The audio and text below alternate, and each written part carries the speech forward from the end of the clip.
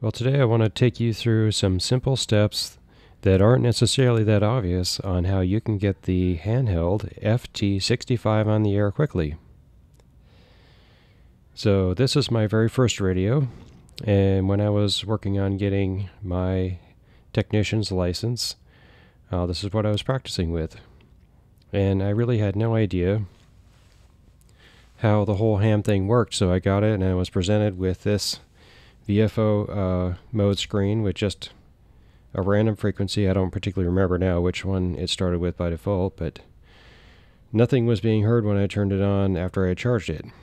And I really had no idea where to start. Um, yeah, but of course, as classes went along, I quickly made progress on the frequencies that this particular radio will uh, address the VHF, UHF frequencies, course, you can hear some radio on here too. Kind of comically, the very first thing I heard on this really was just letting the radio go in to scan the entire frequency it can address, and I started hearing radio. Uh, I turned thinking I was hearing a real ham conversation, only to realize it was broadcast. So when I went to class, we were going to use one of the um, club members' call signs to call to their repeater, and I could not get this radio to hit it. So there's a few things on here that I think would be useful for people to know, and we'll walk you through them. Uh, first thing you got to know, of course, is how you turn it on. And this knob up top here is a multifunction volume plus turn on. Uh, for me, it was a little bit unintuitive, but turning to the left will turn it off. And you hear a little click there when it turns. You can see the uh, volume indicator there, the white line on that knob. And you click it back on, you go through the boot sequence, and right back at start point. Uh, on the side here, you have a little rubber flap here that will allow you to plug in a uh, microphone and headset. On the back, you get this nice uh, belt clip, and you can see the uh, charging interface right there. So it comes with a dock this piece um, is separate in the box when it comes, so you just have to thread it on with the included screws. You can see them there at the top. And of course the uh, the antenna, this is the stock antenna, comes separate and you just thread that on, nice and easy. And it is a SMA standard. So when you go to order something that is a little bit better, that's the interface that you have to look for. And then at the top, you also see the orange button there. Um, that's kind of a tactical feature. You can trigger the screen on and it turns on a little flashlight. Um, I kind of frequently do that because I don't really want to necessarily start or interrupt a search, but if you click that on and off, you will get a the screen to light up so you can see what you're doing in the dark. And of course, uh, this is more the business side of the radio. At the very top here, we have our push to talk button. And below that we have a squelch release. And then below that you have the function key. Um, and we'll start here with just holding down the function key. So that will kind of get you started on everything. If you hold that down, you get into the menu. And you can scroll through the various settings that you will want to modify. And if you tap the push to talk, that will drop you back to the frequency screen. All right, so first thing you need to do is find a frequency that you may wish to listen to. I'm going to program in a local repeater here.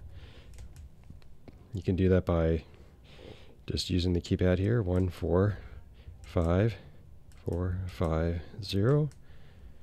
This radio will auto do the a repeater shift unless you program it to do differently, it will do the either negative or positive depending on UHF, VHF.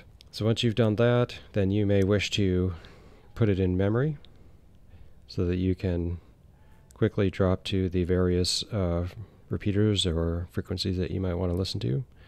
Yaesu likes this star V slash M right there. So we hold that down and it presents you with this uh, screen in the memory bank, you can see it blinking up there where it'll go. And then you, just like the old flip phone style, you just hit the button uh, with, that has the letters that you want to use. And here's where I ran into my first problem. Okay, I've got the letter I want, but how do I get to the next um, letter space?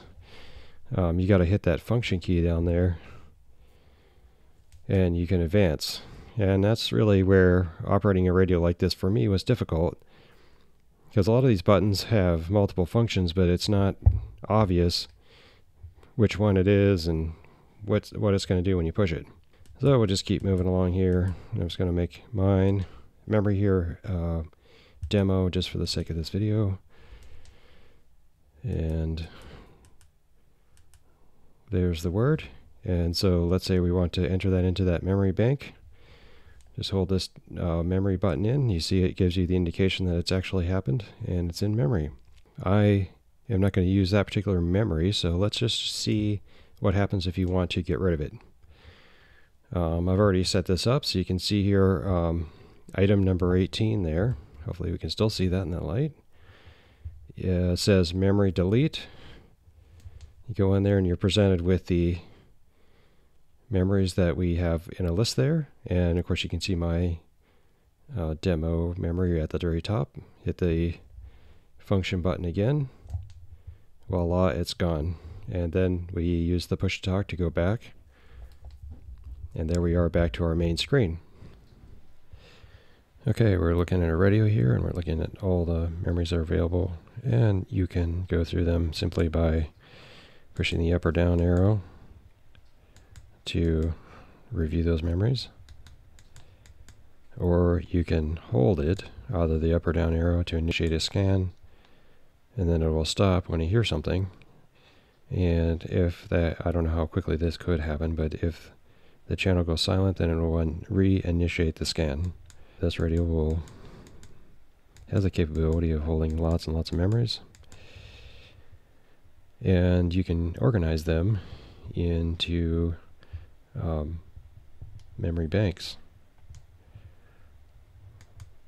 So there's bank number one that I've pre-programmed.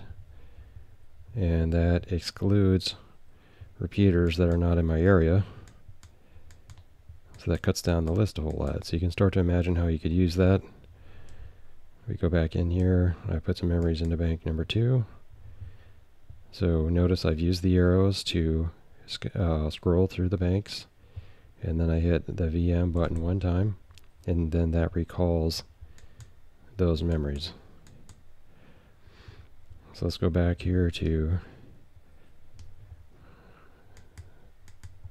the other way here. We're going to go back to no bank. This is the incomplete list. And we'll uh, put some things into bank number three just for fun. Going to pick these at random. So we're going to hold down the bank button and then we're going to cycle to bank number three and then you use the function key, hold it down, and then that will program that right into that spot. Push to talk will get us back, and we can pick another one. Let's pick one here that's not kicking up a lot of noise. Oh, do the same procedure. Picking bank number three. Hold down the function key for a second here. Push the talk back. We'll do another one here. And we'll use this one. And on down to bank number three. Holding function key. Awesome. Okay, let's see what we are able to accomplish here. Initiating the bank screen. Going to number three, and we're going to hit recall. And there's those repeaters that we entered, which we can scroll either through a scan or manually one at a time. Um, let's say we have one in here that we no longer wish to have in the list. You can hold this down. And now it's uh, by holding the function button there. Now the one called Metro Sky is no longer in that particular bank. Okay, we're going to do just a quick review of what the steps are to kind of get you going and on the air quickly. When you open up the radio, it's going to be in VFO mode, so you're just going to be presented with a frequency, whichever that happens to be. Um, I don't recall what this radio came with by default, uh, but there won't be anything there. There will be no information, uh, no repeaters listed, nothing like that. Um, so you can use, use Repeater Book, the app, to find that kind of thing. There, um, ARRL makes books. There's different ways you can find that information. You will find a frequency that you want from a source or just by scanning, and you can type that in here. You can use the up and down arrows to move through. You can initiate a scan in VFO to find something like that. Then you will want to put it into memory, and you can do that by holding down this button and of course going through the process of naming it and holding down the memory button again until it goes into memory. And then you can switch between the VFO mode and memories mode by tapping this button. And we're looking at bank 3 right now. And we can hold down band again to move between the other banks that are available to us. Let's go back to bank number one. We're going to recall that, and there we go. Um, I would recommend that when you're populating your banks to go from your complete list, which will be no bank. That's going to have everything.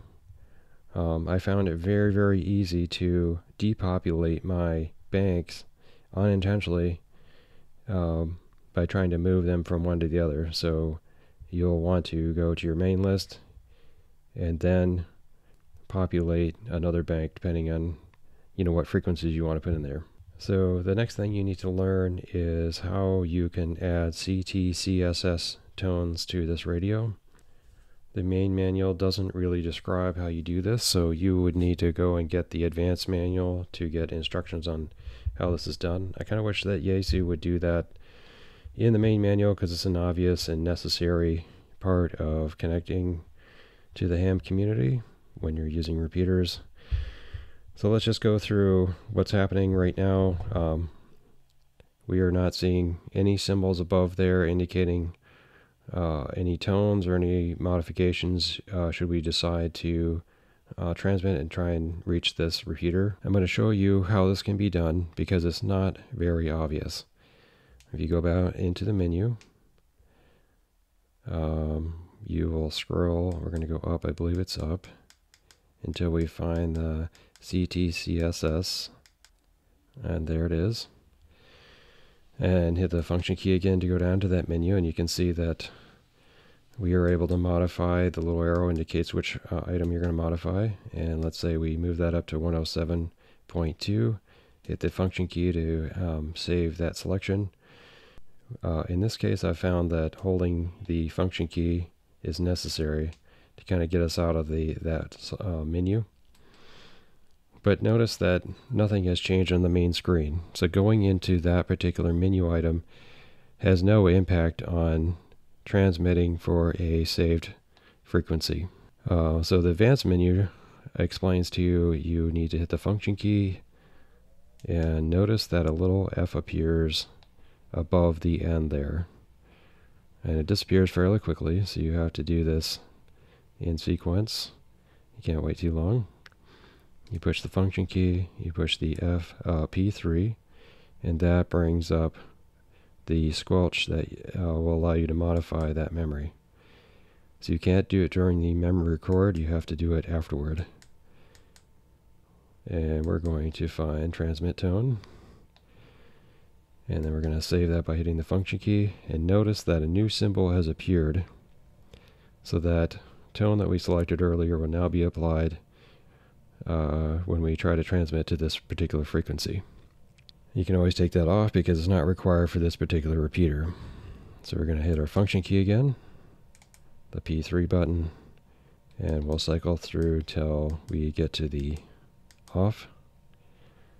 Hit the function key to save that. And notice that we have now removed that. That CT CSS tone. Alright, so let's just do a quick review. Radio comes in VFO mode. Some random frequency is pre-selected for you. There's no information available. You can find repeaters in our area by downloading the Repeater Book app. The app is super nice because it has location services, so it will pick out repeaters that are close to you. Um, and then you can, of course, use the band key to distribute your memories to various banks to keep everything organized. And then, as you need to, you can initiate the transmit CT, CSS tone, or one of the other squelch types that you might need for a particular repeater by holding the function key briefly, hitting the P, and then selecting the squelch type that you need to use. And that will get you on the air. I hope you enjoyed this content and you will join me again next time.